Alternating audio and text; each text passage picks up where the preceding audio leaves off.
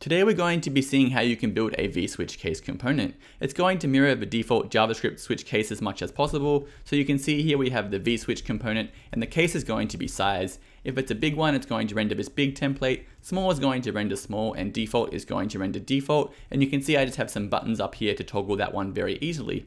If we jump down here and look at our setup function, it's going to be very simple. We just have the size, which is a ref, and then we're returning the size in here.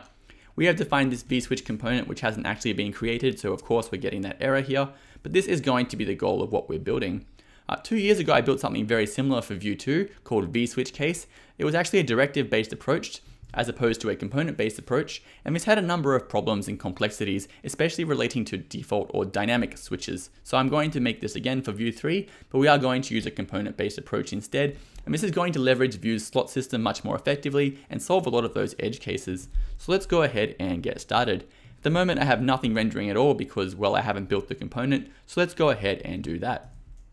First thing we're going to do is export something. So I'm going to export a const vSwitch, and that's just going to be equal to a defined component. Of course, we are using TypeScript here because TypeScript is obviously a good thing to use, especially when you're building a library like this so people will get better recommendations. We're also going to go ahead and import H for our render functions as well as computed as well. And what you need to remember one rule here. Firstly, I'm going to create my setup function, and setup functions when rendering things must return something to this signature. It has to return a function, and that's going to return a render function. So let's go ahead and see how this one might work.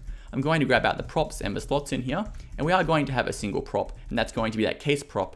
Let's just go ahead and define that one really quickly. It can either be a string or a number, exactly the same as regular JavaScript. You can't use an object, for example, inside of here. This much must be a primitive. So we're just going to go with string and number for now.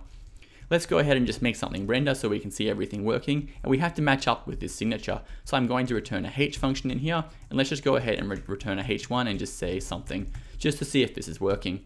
If we save it off and refresh the page, everything is working. We have something exactly what you would expect. The next thing we're going to do is see if we can render that default slot. Let's go ahead and try that one out. Again, this is also very simple. What we need to do is just return slots.default in here, save this one off, and we're going to get default. That is working correctly as well. We are going to have a problem here. At the moment, we're going to ret return the exact same node every single time, and this needs to be dynamic. It needs to be based or computed based on the prop.case type. So what we're going to do is transform this to use a computed property. I'm going to make this one computed, so let's go ahead and return a new function in here that's computed, and then we're going to go ahead and grab the value. Just to verify this is still working, I'm going to return h of let's say h2, and then just pass in some junk data to see if this one is going to work. And this still matches up to what we have up here. We are returning a function, which is ultimately going to return the value of the computed property, which is going to be this render function inside of here. If we save this one off, it is still working. We are getting everything we expected. Now that we make this computed, we can go ahead and have some dynamic behavior in here, depending on the props. So let's go ahead and do that. Before we go and do that, we're going to have a look at the slots and see what's going on in there. And we're going to get three values in here. We're going to get small, we're going to get uh, big, and we're going to get default. And that's going to be our three render functions we are working with. If we do have a valid render function to render, so we're going to say if the props case is either big or small, we're going to go ahead and return that one. So let's go ahead and do that. We're going to see if props.case is defined, and if it is, we're also going to see if slots props.case is defined, and if this is valid, we're going to go ahead and return that one. So we're just going to say return h and pass in our slot, so slots props.case. With a bit of luck, this is going to work. Let's save it off and see what happens. And we are getting small, exactly what we expected. The reason we expected this to be small is if I come down here, we can see the default value is going to be small. And if we change to big, that's going to work as well. So we've made some good progress. The next thing we need to do is click on invalid and we are going to get nothing in here. Uh, we should be rendering the default slot. So let's go ahead and do that. The next thing I'm going to do is just do another check down here. We're going to see, uh, obviously if this is not true, we're going to fall through to this case here. So I'm just going to see if props or rather slots.default is defined. And if it is, we're just going to go ahead and return that slots.default. With a bit of luck, this is going to work as well. So we have big, we have small, and we do have default. Finally, we need to cover the last case where the, the user doesn't actually define this default slot. Let's comment this out and see what happens. And we are going to get a warning if we click on invalid. It's going to give us a, a warning, or apparently not, but we should probably handle this a bit more gracefully anyway. So what we're going to do is just do a check in here. And if neither of these is true, we're going to go ahead and return something by default. In this case, I'm just going to return a div. And I think this is going to be a much cleaner way to handle it. And everything is now working correctly, or so it seems.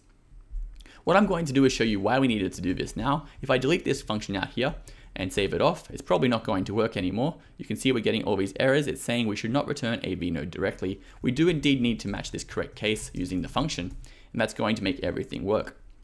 The last thing I'd like to do is make sure this is working with dynamic slots as well. That was one of the problems I had with my original vSwitch case directive. So let's go ahead and do that. We're going to change how this one works a little bit. So I'm going to go ahead and keep this default slot and I'm just going to replace these templates here. We're also going to replace this case. I'm going to make this on a number and we're going to have a number of random numbers. So let's go ahead and update this one as well. It's going to change the number to be some other random number and I'm just going to say change in here. We're going to have a list of numbers we're going to render. Let's go ahead and create those ones now. I'm going to create a new list of numbers in here and we're just going to say 1, 2, 3, 4, 5 and I'm going to go ahead and return those. We're also going to have the case that we're matching on so I'm going to say constant number is going to be a ref and we're just going to make that one by uh, 1 for now and return number in here. Finally, we need some way to change the numbers here. So I'm going to create a new one called change number, and we're just going to randomly change to a number between one and five. So let's go ahead and quickly write that one out as well. All we need to do in here is get a random number between 1 and 5. So I'm going to call that one rand. It's just going to be math.ceil because we're going to be rounding up. We're going to use math.random to get a random number between 0 and 1. Then we're going to multiply it by 5. And that's going to give us random number between 1 and 5. Finally, I'm going to say number.value is equal to rand and get our random number. And we need to change that one to return as well. If we've done everything correctly here, we can hopefully see something different. Let's save it off and we're going to get our random number up there. Just to verify if it is working, let's go ahead and actually render that number. So I'm just going to render the number up here. We're just going to say our number. And at the moment is going to be 1. And if I change it, we're going to get 3, 4, 5. And that's working correctly. The next thing we need to do is implement the, the slots. So we're going to, do, again, use template here. And it turns out you can actually use v-for on template as well. So we're going to say v-for num in numbers and loop over each of those numbers. Uh, close the template off and we're just going to render the number in here to see if it's working. And now we need to say our dynamic slot. What you might try and do is something like this, but this is not going to work. It's not going to figure out to interpolate that number. What we need to do is use the v-slot directive here and pass in our slot using the square brackets. And this is going to give us that dynamic uh, value. Let's go ahead now and try this one out. If we save it off, head back here, we are getting 3 here, or 1. It's matching up to the correct case. And if we continue changing this, everything is working as you would expect. We're entering the same number twice, once up here, and then once down here. To make it a little bit clear, I'm just going to say number here, save it off, and everything is now working. Let's also make sure the default case is working in here. We just need to make sure we can change it to a number that's outside our limits. So I'm going to say number is equal to 10. And this is going to say change to 10. And this should give us our default case. Let's try it out. It is working, we are getting the default case. So everything is now working exactly as you would expect. And we can see how simple this actually was with our Vue's slots. It was actually only a few lines of code. We now have a very powerful construct we can use to express complicated switch cases in our components. The next step here would obviously to make this uh, bundle this and make it distributable on NPM. It's actually a fairly involved task nowadays. There's at least three, if not four modules you need to target. You need to have your bundle for your browser, your Node.js bundle, as well as your ESM bundler bundle. Uh, that's something we'll talk about in a separate video. I think this is enough for now, so I'll see you in the next video where we're going to figure out how we can bundle this and distribute it on NPM.